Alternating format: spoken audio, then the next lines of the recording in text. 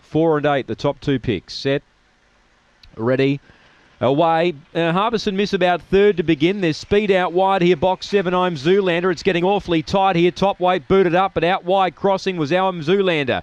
Uh, got away, three lengths to margin on top weight. Now out wide now, Alpha Alexander winding up, gets to third, spots the lead of four. Then Tassie Tonk running on, yes, Sarge uh, from Pictish Mark. A mile back, Harbison missing Hot Stelios. Leader coming back to them. I'm Zoolander, grabbed by top weight, and here on the outside is Alpha Alexander. Went up, took the lead, and raced away. Alpha Alexander beats top weight.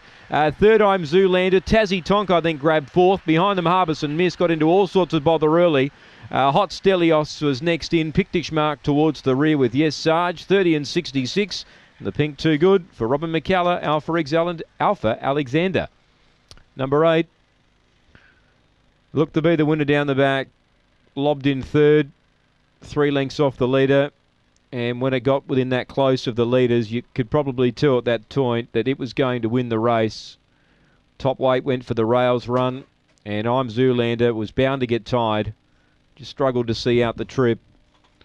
And it's run third. One gets fourth, Tassie Tonk, and five, Yes Sarge, behind those. 30 and 66. 8 3 7 1 on the last.